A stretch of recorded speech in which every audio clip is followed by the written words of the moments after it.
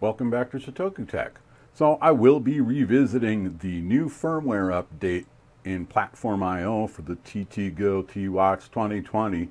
I'll be doing that soon. There's a lot of comments on this video already that seem to be headed in the right direction. But in the meantime, I wanted to revisit Platform IO and try something a little simpler. And this particular website has a lot of great tips for the TT Go T-Watch. First of all, let's talk about fonts and images. So he points to a font converter website, and then he also points to an image converter website as well. And then he goes on to make his cat watch. So we're going to do the same thing, and we're going to make my friend's Fred Flintstone sundial watch.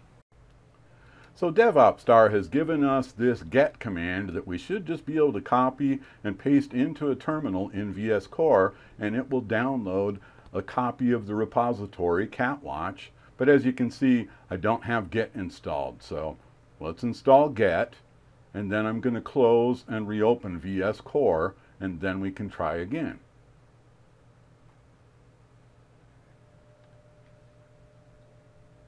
I'm just accepting all of the defaults here. So I installed Git, and we're going to open Visual Studio Code again. I should be able to click on Git, say Clone Repository, take that gentleman's URL, and then I want to select a repository location. There we go. So we've opened it now. Okay, so this is taking me somewhere here. Here's our platform io.ini file. It's got everything I need there. Let's go into the source code. So you can see his CatWatch program. He's used these font converter and image converter websites to create his font and the picture of his cat. We're going to go to the LVGL website image converter and we're going to upload this cool little ping file I just made for this video. Okay, we're going to call it Fred underscore PNG and convert it. We're going to save that file. Okay, and I'm going to click in here and open the file location. We want to keep tabs of where that is. I'm just going to kind of restore these windows down. See now what I want to do, you can right click and say reveal in file explorer. So this is showing me where to drop this file. So let's go back and get our file now. Fred Ping goes here. Copy here.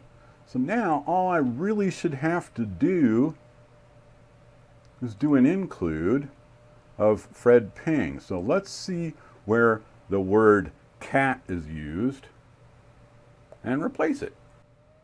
See? So we want to replace cat ping with Fred Ping.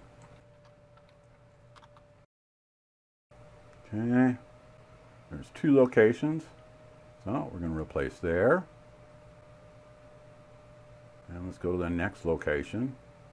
Oh, it's up here. Okay. Yeah, okay. Now, okay, all the errors have cleared out. I just want to peek into this Fred Ping file because I had problems last time I was doing it, but it looks like it's done right here. Before it was appending the C on me. Just want to make sure all the declarations correct. What I'm going to do is go File, Save All, now trust me, I did this the other day. I'm just going to close it and reopen it. I got to go grab my watch. I'll be right back. Okay, I'm back and I'm hooking up my watch to my USB cable. And I'm just going to run the upload because that's what he says to do here. So he just basically says, get his code from GitHub. And remember, I had to install the Git extension in Platform IO. We're not changing the font. We've created our own Fred Flintstone image and placed that in the project.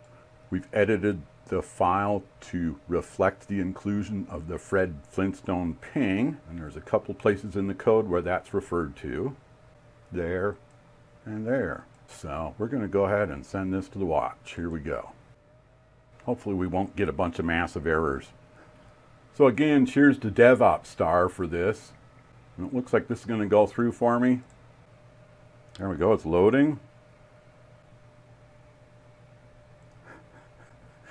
And there's your Fred Flintstone sundial watch there, Carson. All right. Stay tuned and thank you very much. Give this video a like. Click down below for the links in the description. Click up here to subscribe. And click over here to check out the TT Go playlist. Thank you very much. Thank you for watching Shotoku Tech. Please subscribe, comment, like, and share.